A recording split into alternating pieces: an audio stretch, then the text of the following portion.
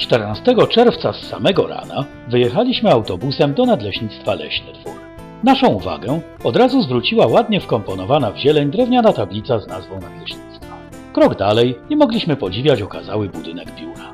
Przywitani bardzo gościnnie przez panów nadleśniczego i jego zastępcę, przeszliśmy do sali wystawowej z mnogością eksponatów. Z zainteresowaniem oglądaliśmy imponującą kolekcję wieńców jeleni i parostków kozłów. Dodatkową atrakcją był również pokaźny zbiór entomologiczny, obejmujący nie tylko rodzime gatunki, ale również wiele egzotycznych okazów. Po dokładnym zapoznaniu się z całością wystawy przeszliśmy do sali wykładowej, gdzie jako pierwszy głos zabrał pan nadleśniczy.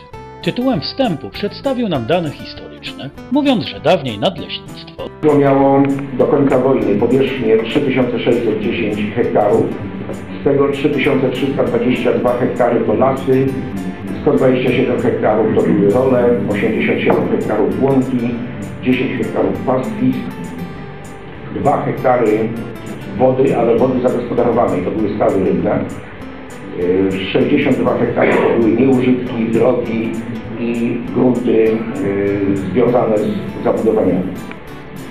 Mając podstawową wiedzę o historii, położeniu i zadaniach gospodarczych nadleśnictwa, pojechaliśmy w teren, by bliżej poznać specyfikę pracy niektórych leśnic. Naszym przewodnikiem był zastępca nadleśniczego Grzegorz Goliszek. Po drodze minęliśmy szkołę podstawową w Motarzynie, której Rada Gminy Dębnica Kaszubska nadała imię Leśników Polskich. Taki wybór nikogo tu nie dziwi, zważywszy, że szkoła i ludzie z nią związani od zawsze żyli w sercu przyrody, a jej wieś znajduje się na granicy Parku Krajobrazowego Dolina Słupi i w obszarze trzech nadleśnictw – Łupawa, Leśny Dwór i Bytów. Jako pierwszą w trakcie części terenowej zobaczyliśmy jedną z wielu powierzchni pogradacyjnych. Pokazano nam miejsce, gdzie dawniej był drzewostan świerkowo-sosnowy. Na skutek masowego występowania kornika drukarza w latach 2007-11 wycięto ponad 100 hektarów zrębów sanitarnych. Dodatkowo huraganowe wiatry dokończyły dzieła zniszczenia, wywracając większość sosen. Teraz pozostały jedynie nieliczne egzemplarze. Oczywiście odnowienie tak dużego obszaru wiązało się z pokonaniem wielu przeciwności. Najważniejszymi było zachwaszczanie się odkrytych powierzchni oraz szkody powodowane przez zwierzynę. Dlatego też leśniczowie muszą dbać o terminowość koszenia założonych upraw, a w celu ochrony przed jeleniowatymi cenne gatunki grodzić i palikować. Nadleśnictwo musiało rozwiązać jeszcze jeden poważny problem. Mając tak wielką ilość pozyskanego drewna, przy ograniczonych możliwościach zbytu, należało zdecydować się na zatapianie surowca. Zobaczyliśmy jedno z takich miejsc, gdzie zbudowano specjalne rampy, po których staczano do wody drewno.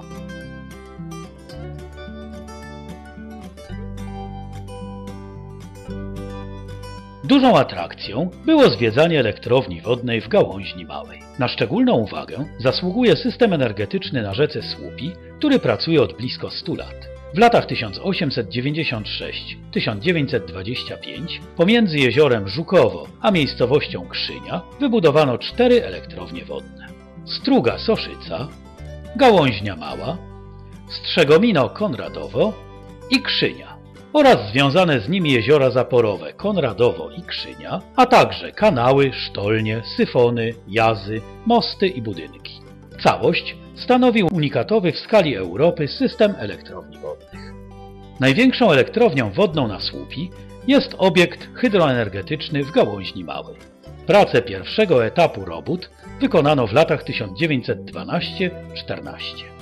Była to wówczas największa elektrownia wodna w północnej Europie, a jej rozwiązania techniczne były wzorcowe dla następnych budowli hydroenergetycznych. Pięć turbin typu Francisa i pięć generatorów pracuje nieprzerwanie od czasu ich zainstalowania do chwili obecnej. Moc każdej turbiny wynosi 700 kW. W budynku siłowni znajduje się izba muzealna przygotowana przez pracowników dla zorganizowanych wycieczek turystycznych. W tej izbie oprowadzający nas przewodnik opowiedział o bogatej historii elektrowni wodnych Pomorza Środkowego i zapoznał nas ze zgromadzonymi eksponatami. Dodatkowo obejrzeliśmy przygotowaną dla zwiedzających wizualizację sali projekcyjnej. Niewątpliwą atrakcją było dla nas wypuszczenie strumienia wody na turbiny. Spadająca z hukiem woda była niezapomnianym przeżyciem.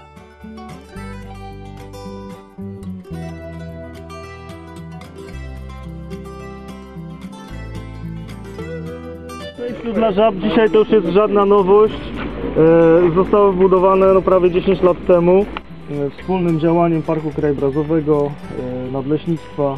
Trochę pieniędzy było z różnych funduszy. Zrobiliśmy to przejście. Ono wtedy było pierwsze w Polsce i było cholernie drogie. Jest to pomyślane w ten sposób, że idzie płat, trafia na taki płotek oporowy, no i on, wiecie, ma takiego GPS-a, którego ciągnie do wody, nie? Więc stara się w najbliższą stronę iść, idzie, idzie po tym płotku i są trzy takie tunele. I on trafia w ten tunel, tak, i przechodzi sobie na drugą stronę. Z drugiej strony jest e, tak samo, to też płotek, tunel. Ta kratka, która tam jest przez drogę, jest po to, żeby te płazy nie przechodziły tą drogą, tylko wpadały przez tą e, kratkę na dół. A ten ślimak, który jest na końcu, to mówiłem, on ma tego GPS-a i cały czas idzie do wody, tak? Jak na ślimaku zaczyna się odwracać w drugą stronę, to idzie z powrotem, tak? I w końcu trafia w ten tunel i przechodzi. Nadleśnictwo we współpracy z kołami łowieckimi podejmuje kompleksowe działania polegające nie tylko na ograniczaniu liczby zwierzyny, ale również na stosowaniu różnych metod ochrony przed szkodami wyrządzanymi przez zwierzynę łowną. Jedną z takich metod jest zabezpieczenie drzewek plastikowymi osłonkami. Kaleczenie kory natomiast ogranicza spałowanie. Na razie nie można zupełnie odejść od grodzenia upraw. Leśniczy Wojciech Jurczyszyn, znający doskonale ten temat, dzielił się z nami swym doświadczeniem w jak najbardziej efektywnej ochronie upraw leśnych. I tak dobiegła końca terenowa część naszego wyjazdu.